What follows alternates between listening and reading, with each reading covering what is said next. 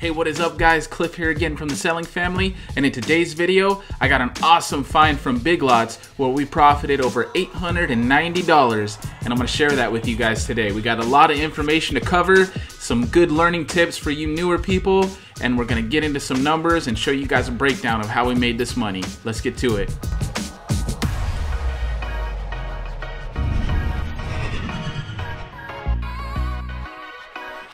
All right, guys, before we get into the product, I want to thank you guys for all the people who have subscribed and been liking and commenting on the videos. Last week we hit over 4,000 subscribers, so it's been an exciting time and just awesome to see the feedback that you guys are giving and the people liking and enjoying the video. So if you're new here, make sure to like and subscribe down below and ring the bell for, so that way you get all the notifications of new videos and items like today where it could be a potential bolo for you to make some money. And I also wanted to share with you guys uh, because a lot of sellers, it's it's the end of the school year, kids are getting out of school, summer vacations coming up, and a lot of sellers getting a summertime rut where they're not sure what to sell. And there's a time coming up because it's into school season, which means back to school is going to be coming up pretty soon. And if you've never uh, sold during back to school season, it's an awesome time to profit. And so, if you are interested in that, we have an amazing course that we've been teaching Amazon sellers for years and years on how to navigate this time of the year and how to notice trends for back to school and make some profit during that time. So, if you're interested in that, I have a coupon code for all of our YouTube viewers out there.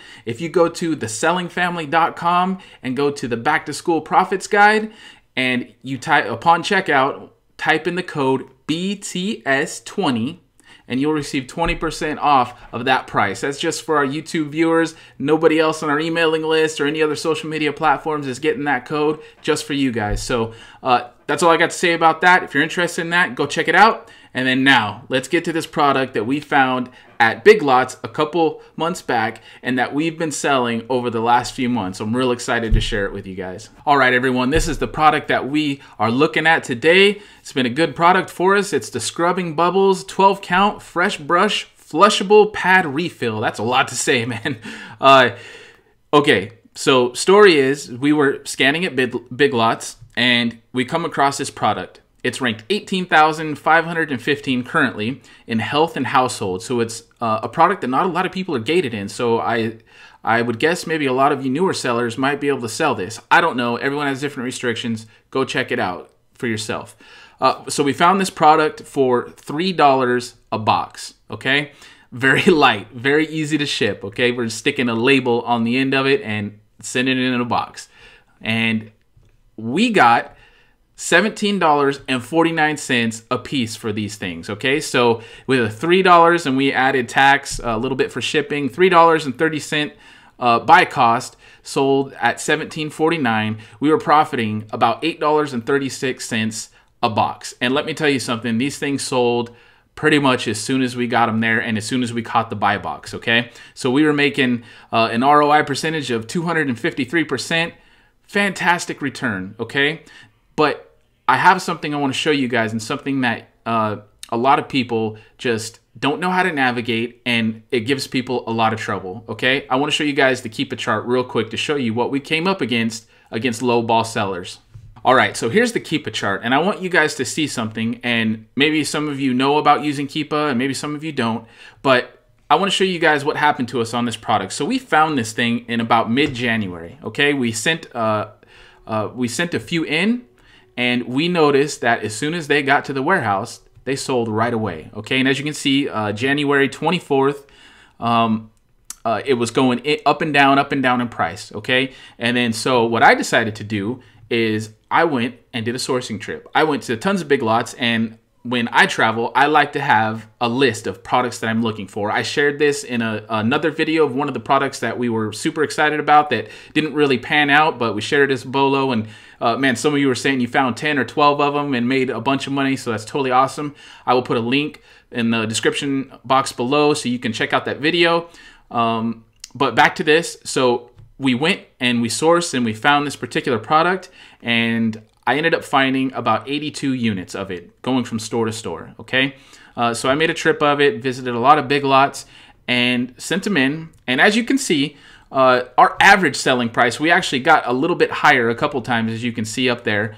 Uh, but our average selling price was $17.49 on this particular product. And you guys can see from the chart here, the rank stayed uh, pretty consistent, you know, going up and down, but not too bad. And then you can also see the the uh, amount of offers and FBA sellers. It went up and then it kind of went back down as people started selling off. But here's what happened to us, okay? We were selling just fine, as you can see through the chart here, through February 1st, uh, all the way into March, okay?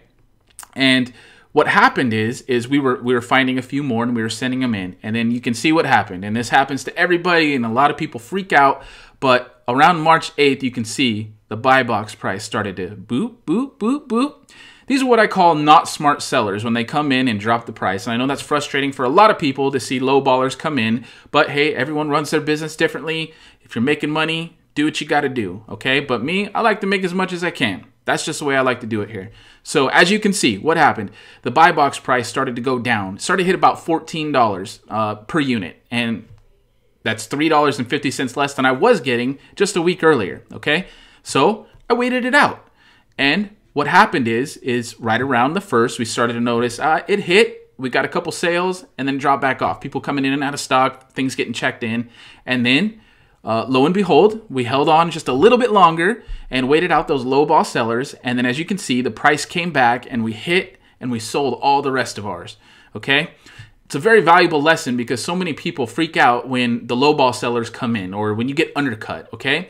And a little tip for you guys it's not a good practice to just undercut, undercut, undercut, undercut because you're going to hurt yourself. If you can, hold on to the price just for a little bit and see what it does. I knew that this was a hard to find product because I visited about 10 big lots. So I knew that they weren't uh, there weren't hundreds and hundreds of these things laying around. So I thought to myself and told myself from experience again that these things were hard to find and hey, these people are going to sell out quick Amazon isn't coming in on it, and I'm gonna get the buy box back again. So I'll just hang tight. It took, um, let me see here. It was about March 24th in the middle, as you can see there. March 24th, it was just sitting at that $14 price, $14. And then as sellers started to drop off, it would go up and down, up and down. And then we finally got back to our $17.49 a unit and sold them all out. So, moral of the story sometimes you just got to hang in there and wait out those low ball sellers. As frustrating as that is and that sounds, sometimes that's what you have to do to make a few extra bucks, okay? So don't freak out. Now, I want to show you guys because I always like to show you guys that we actually sold the items that we bought. Uh, I want to show you our inventory lab report. Okay, here we go. So we have the scrubbing bubbles, uh, 12 count, and as you can see, we had 82 orders, and that was all I found after visiting about 10 big lots. So again, I found you know some some places I found 15 and then some places I found zero. So overall, I got 82 uh, units, and uh, you can see our revenue totaling $1,890, and our cost per unit it was three dollars for the item, but again we added a little bit for tax and shipping, um, 330 per unit. Profit $895, and the ROI percentage of 248%. Boom! I love it. And so, uh, real quick, that's just our inventory lab report. We're not making up numbers here. Um, I want to show you guys our hustle stats. I love to do this for our products because I think it's important for you guys to see exactly what we're doing and the time we're putting into finding each product. And I think that's super important. So here we go. Source time. I did an eight hour sourcing trip to hit 10 big lots. Now, uh, that was a lot, most of that was driving. In the stores, I was laser focused in and out. I don't once I have a list of products that I'm hunting, I'm not sitting there scanning aisles upon aisles of stuff. I have a list, I'm targeted, so I like to spend less than 20 minutes in a store that I go to visit. But most of that, I drove, uh, you know, two and a half hours one way and then two and a half hours back. So most of the time of that source time was driving for myself, and then a little bit of time in each store. Uh, total investment, and then, oh, sorry, we had one hour, so eight hours sourcing, and then one hour to pack up all the materials. Uh, total investment 82 units bought at $3 each. Total product investment was $246.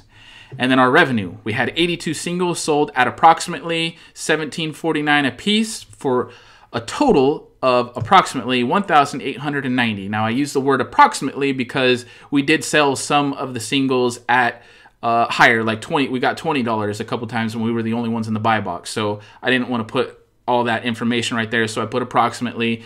And then again, with the total uh, revenue, I didn't uh, add in a lot of the cents and stuff. So I just rounded 1,890. And then our profit is $895 after cost of goods and Amazon fees with an ROI return on investment was 248% and all the units sold within a three month time frame. And remember, I sat on the sidelines for about two and a half weeks waiting for the other lowball sellers to sell out. So I hope you guys enjoyed that in-depth look at the Scrubbing Bubbles product and us waiting out some lowball sellers and our journey in selling this over the last three months. Uh, again, if you find it, that's awesome. Just be cautious and do your homework. Check all your information to make sure that it's still profitable. Because um, sometimes when a lot of people see this, it could get crowded. So just be careful. Uh, just want to throw that in there. And again, I thank you guys for watching. Uh, if you haven't subscribed yet, now's a good time to do it. Don't forget about the back to school code in the beginning of the video. And see you guys next time.